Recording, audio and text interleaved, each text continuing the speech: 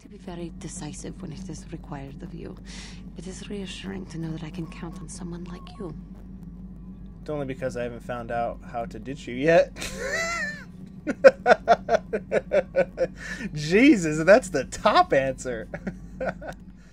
Hello, everyone. Welcome back to the channel. My name is Adam. This is HM04 Gaming. Welcome you back to Knights of the Old Republic. In the last episode, we wrapped up Kashyyyk. We put Zaalbar's daddy in charge and all the stuff that's going on here. We got um, Jolee Bindo, and you're probably wondering why I'm doing this off key, not really doing this correctly. Well, some parts of this video, my voice recording is terrible, so I have to do a lot of this in post production.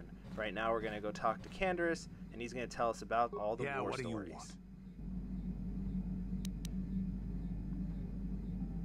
want? I was one of the best youth warriors in the clan Ordo in my time. No one before me had mastered the power of our Basilisk war droids as quickly as I had. Except Mandalore himself, of course. In those days, we were sweeping across the Outer Rim, destroying all who fought us. Young Mandalores would prove themselves in real combat with unknown opponents above a thousand worlds. Each brought back stories of his achievements. We were still recovering from the war we fought with the Sith. We were not yet strong enough to fight the Republic again. We needed to train another generation to do that. we would travel from world to world and descend on it in our Basilisk war droids. I still remember my first combat. I remember it well, orbiting high above a placid world, its defenses just stirring. As was tradition, I would go ahead of the first wave to find enemies in the thickest fighting. I remember sitting there in my armor, linked directly with the basilisk thrumming beneath me, my heart racing with fear of the coming battle. The doors opened in front of me, and the air was sucked out of the drop bay, scattering crystals of frozen vapor across my path. I can't describe what it feels like to look directly down at a world, falling continuously as you circle it, with barely 15 centimeters of armor plate protecting you. When the magnetic locks disengaged on my droid, I plunged out of the drop bay towards the battle that waited below. The exhilaration, the euphoria I felt as I streaked into the atmosphere, dodging self-guided projectiles and beam weapons, was unmatched.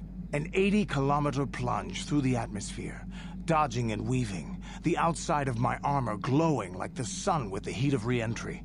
And with barely 30 meters to spare, I twisted and skimmed the surface, firing at the giant beam generators that were in my path. The explosion from that sent shock waves that leveled the entire complex around it. It was the moment of my life. I'll never forget those times. But things are different now. We can't go on fighting the way we did. There are too few of us left now. But I really don't want to talk about this anymore. I trust I've satisfied your curiosity for now. Is there something else? Your choice. And I mentioned the microphone was kind of off during that whole thing, so right now we're gonna go talk to Mission and see what she's got going on. Hey there, what can I do for I want to talk to you about your brother. I'm sorry for the way I acted before. It's just that when it comes to Lena, I tend to get a little worked up. My brother and me Why do you hate her so much? going. Sure, Griff had his run-ins with the law on Taris, but we got by okay until Lena came and ruined everything. She was a dancer at the cantina where my brother used to go play pazaak. Griff could be a real smooth talker, and it wasn't long before the two of them were dating. But Lena was used to dating rich Tarisian nobles, guys with mountains of credits. Griff could never give her the lifestyle she was used to, no matter how hard he worked. You mean no matter how much he stole? I'm not gonna pretend Griff wasn't a hustler and a con artist, but that doesn't mean you can just well, I guess she's him. playing him and what he did basically yelling at him that he was a con artist and a hustler, but it's okay because he did it for was, me. For some reason, she stuck around. I guess she saw the potential for a big payday down And that the just makes it alright. So what happened next? After they'd been together for a few months, Griff told me he was leaving Taris. He and Lena were gonna try and make their fortune off-world. He promised as soon as he made enough credits, he'd come back and get me, and we'd all live like royalty. That was two years ago. I haven't seen him since. I don't even know where he went.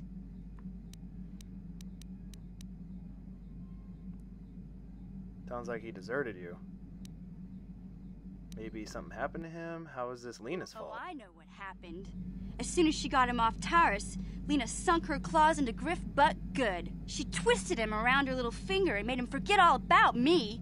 I know I'll probably never see Griff again. But part of the reason I came with you was the hope that I could find out what happened to my brother. Don't worry. I won't let the search for Griff get in the way of what we're doing. Let's just get back to the task at hand. Is there anything else I can help you with? Okay. And now, after talking to Mission, I go talk to Jolee Bindo, but he doesn't really have anything to say. Zaalbar basically tells us that he's going to keep his eyes and ears open, and he's happy that he can go back to Kashyyyk without any issues. Got issues. something on your mind? Yeah, here's uh, Jolie, and he's got nothing really he can tell us. And like I said, Zaalbar is just happy to be with us. And let's go head over and talk to Juhani. I feel I must apologize for the way I acted towards you before in the Grove. It was wrong of me.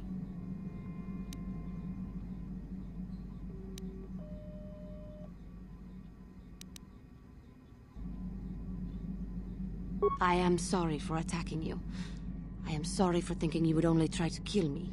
I hope that by helping you in your task, I may redeem myself in your eyes and in my own. Yeah, don't worry about Juhani. I forgive you. Unlikely. Jesus. I think it's going to take a lot. No. Thank you. It is most reassuring to know that you can forgive me, even though I tried to take your life. I can Yeah, only well. hope that in our time journeying together, I will succeed. Don't worry, Juhani. You will. Can I immediately talk How to you? may I be of assistance? You going talk? What is it you would like to speak to me about? How did you come to be a Jedi? How I came to be a Jedi? I am sure you would not find it very interesting. Are you sure you would like to hear? Juhani, I would not be asking if I didn't. Please continue. It goes back a number of years. Back on my homeworld, we did not see Jedi very often, especially where I lived.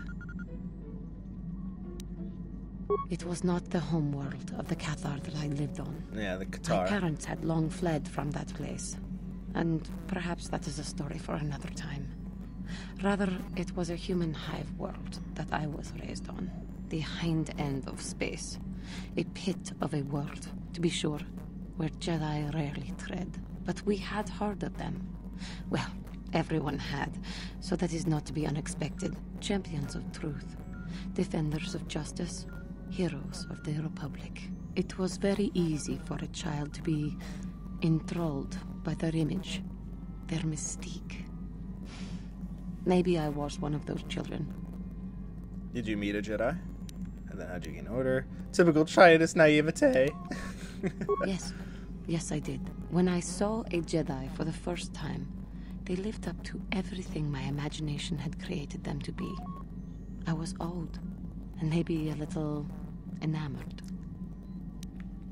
Imagination can be a very dangerous thing. From that moment on, I knew that I would have to try to become a Jedi. To lift myself out of the rut I had been living in for years, and to make a real difference as the Jedi were. the foolish delusions of a child. But this child made it happen. As soon as I was able, I left my world and went in search of them. I found them and was accepted. I had been living my dream on Dantooine for several years before you came, although perhaps I was not entirely ready for it, or not completely suited to the task. Otherwise, I would not have fallen. But thanks to you, I have been redeemed. Perhaps I may yet live to see that dream of mine come true. Come, there is much we should do. Let us not waste time talking. Action is what is needed. Maybe. And just How making sure you don't have What anything is it else. you- You doing all right? Uh, I, I thank you for your concern, but I am still a bit shaken. Why? What is wrong? I have been thinking about myself, about Quatra, and about my fall to the dark side. I keep thinking that it was my anger that drove me that far, that nearly damned me. I look inside myself now and I can still see it. I still feel it. Perhaps you just need more time. It is the taint cannot be removed. Are you sure you should be here? You know, I really think I care very much. Don't care very much. and I say that with the blankest stare. Perhaps you need more time. More time would do me good. Time to distance myself from that anger. I think that is why the Council agreed to send me with you. They think, perhaps, that in your company, I will be able to free myself from it. I cannot afford to look after you all this time. If I see you again and slip back, I will intervene. Great, another mouth to feed. I don't like any of these responses. I cannot afford to look after you all this time. If I see you begin to slip back, I will intervene. I thank you for your concern and your acceptance. I will strive to prove that I am worthy of your company and trust. How may I... Nothing else? What is it? I have been thinking much about our journey, and I am Dude, grateful she's got so much to talk about. me with you. I am not used to such unbiased acceptance from one who is nearly a stranger to me. We Cathar do not make friends easily, or for long. Even on Dantooine, I remained alone. Not ostracized exactly, but separate. It must have been difficult for you. Yes, it was. I find it difficult to speak of those things. I do not want to live that way ever again.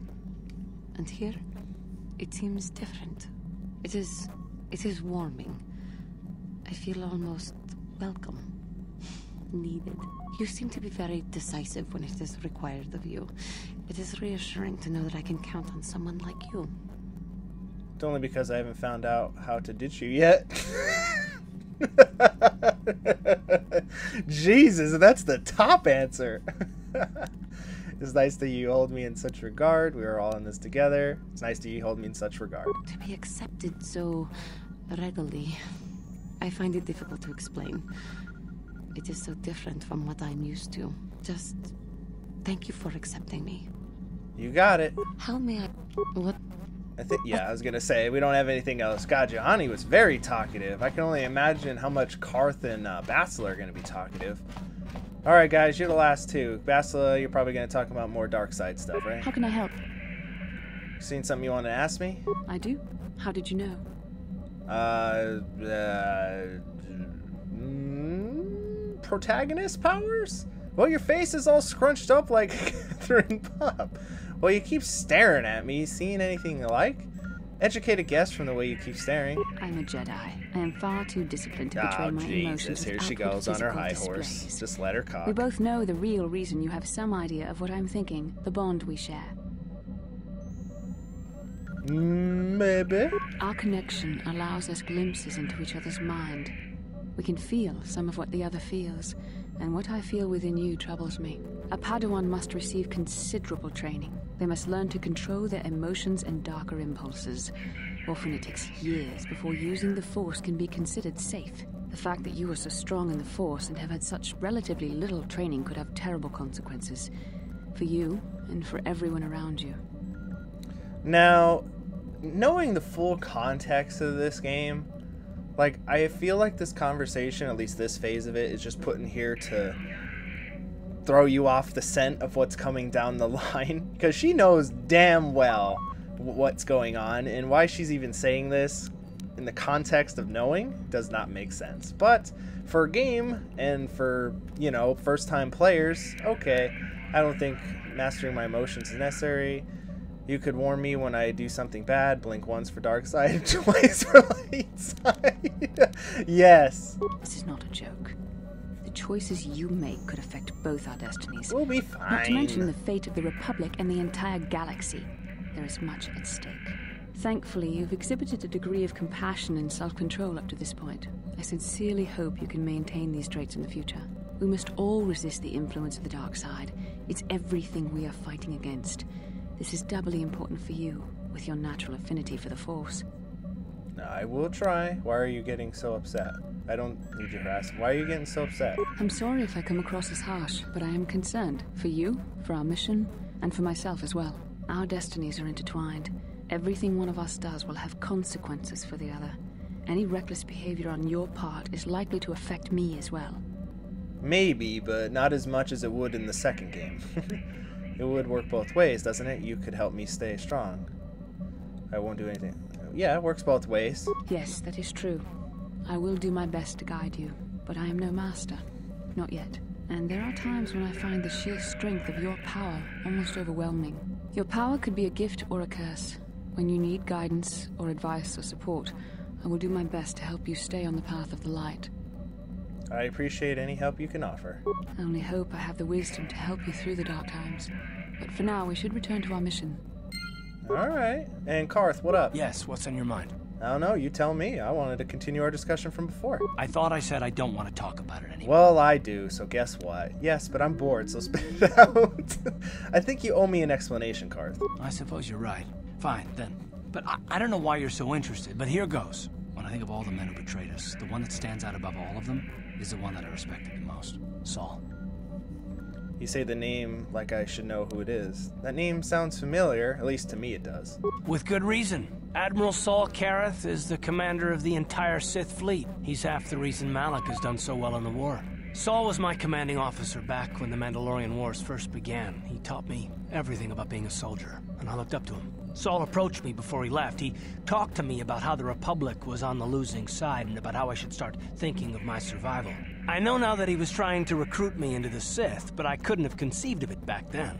I, I argued with him and he got angry and he left. I never saw him again. How can you have not seen that? Through that, you didn't think he would betray the. Pro- well, I mean, no, he's a commanding officer.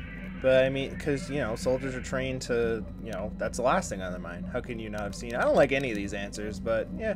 Saul was my mentor. Yeah, he there you led go. us to so many victories against the Mandalorians. Even when things looked to be at their worst, I just I couldn't conceive of it. He, he couldn't be serious. I was wrong, of course. He not only left us for the Sith, he, he gave them the codes to bypass our scanners. I remember waking up as the first of the Sith bombers snuck past our defenses and began destroying half of our docked ships. I knew right away what had happened. I mean, I could have stopped him. I, I could have stopped it all. Yeah, but you you could not have known. So you blame yourself for trusting your friends? I blame Saul, not myself. I was I was stupid and I ignored the danger. He nearly destroyed us all. No, I fought Saul for years now, and if I ever catch up to him, he will regret what he's done. He will regret it. I mean, there was a lot of eyes in their cars. That's terrible. I feel awful. I'll do the same thing in your shoes. So that's all of it then? That's terrible. I feel awful for you. So that's all of it then? No, no, it's not. But I don't want to talk about it right now. Let's go. Yes, Carth, but I do. Yes, what? Can we? No, I can't. You got it. All right. All right, ladies and gentlemen, I know there was a lot of exposition, a lot of talking to crew members, but it is a BioWare game, and that is honestly what you have to do before you set out to a new planet. All right, let's head over to the galaxy map, and obviously, as I mentioned in my little update video, go check that out if you haven't already. Um, we're gonna head over to Tatooine, but first, we're gonna make a pit stop over the Yavin. These coordinates point to a small space station orbiting the gas giant Yavin. Huh, what is this? Let's take a look.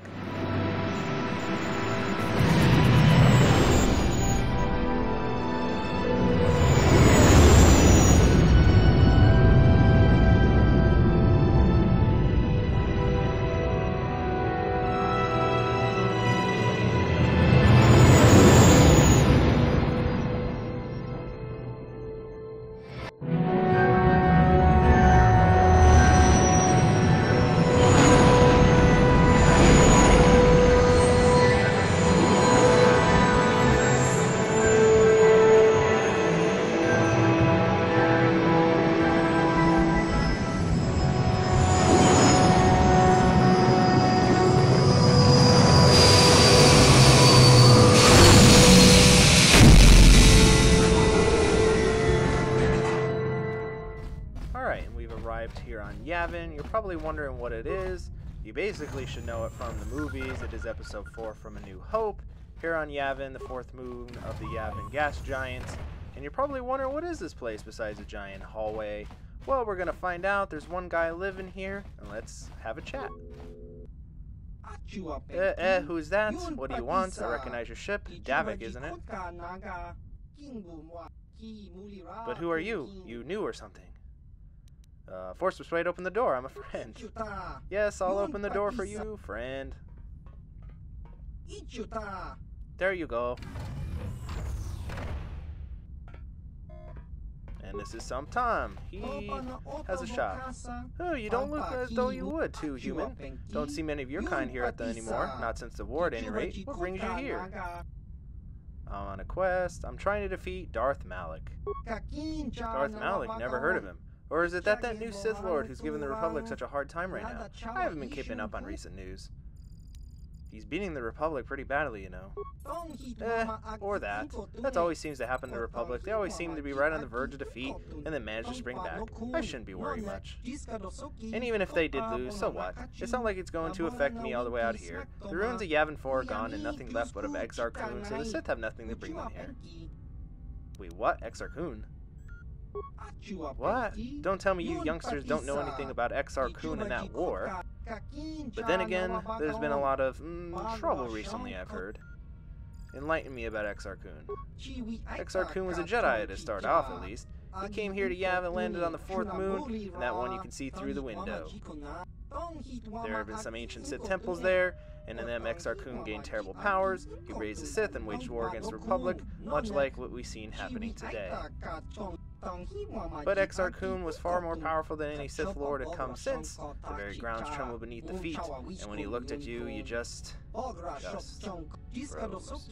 But then all that's in the past now. I got my life of staying here and tinkering with stuff, and I found in the ruins and the things the Trandoshans and smugglers bring to me.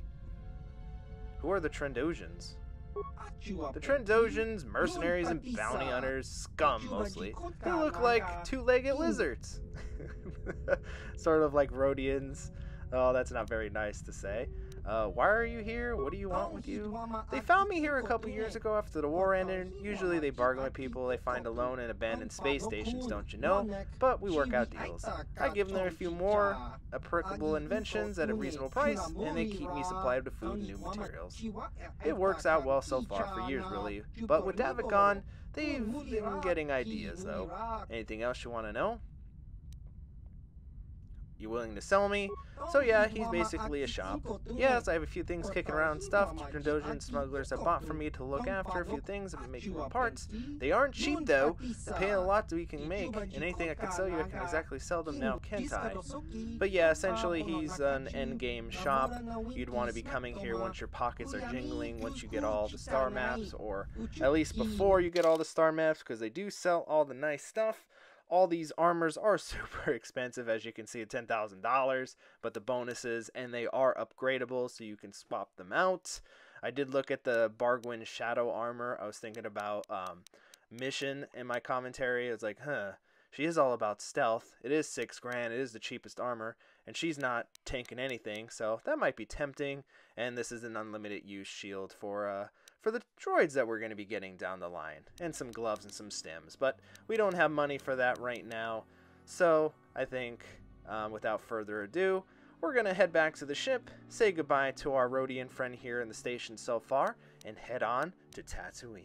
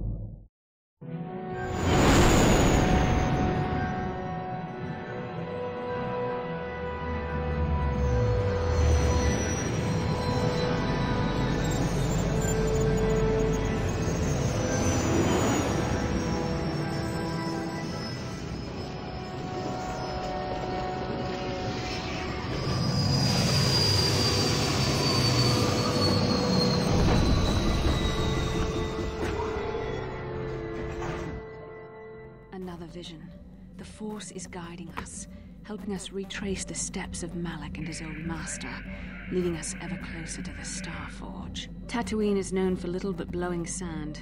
I find it surprising that there would be a star map somewhere in its desolate wastes.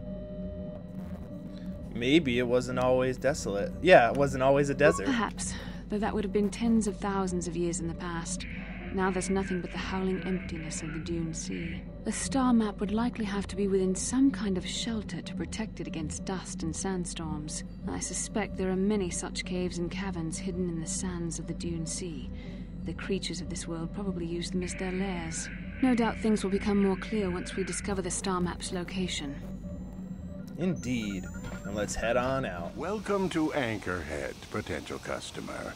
Czerka Corporation Oh no, Space Walmart's back. After some formalities, of course. First, your ship is not on our list of planned arrivals for today.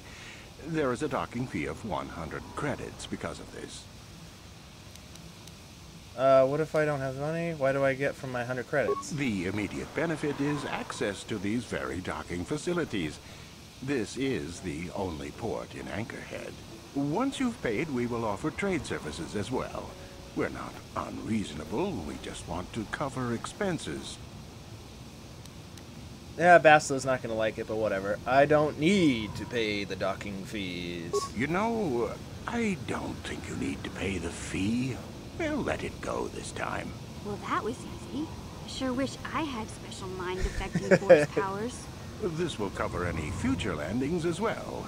It's like a registration, so we can serve you better when you return. Now, as a customs officer, I can provide information on services. Is this visit business or pleasure? Very specific thing. Who should I ask? That's not much information. Could you tell me more? I'm looking for older things, antiques, and artifacts. You a digger? I've heard of ruins being found now and then, but they've always been stripped by sand people soon after. You're not going to get anywhere with them. I guess you could ask around, but I doubt you'll learn anything different. You could always ask a Jawa. It's hard to tell what they know. Give me some background information. I actually need to pay and work. What can I do here? It depends on what level of risk you want to take. You could ask at the Czerka office if any bounties need collecting. That's in uh, central Anchorhead. While you're at the office, ask for a hunting license so you can sell trophies to Fazza in his lodge, just north of them. I suppose you could also take up swoop racing. Swoop races? Up to the Hutt at the registration office by the track. That's They are a very good source Anchorhead. of making money. I can't say I know which of these jobs is the most dangerous. I stay away from all of them.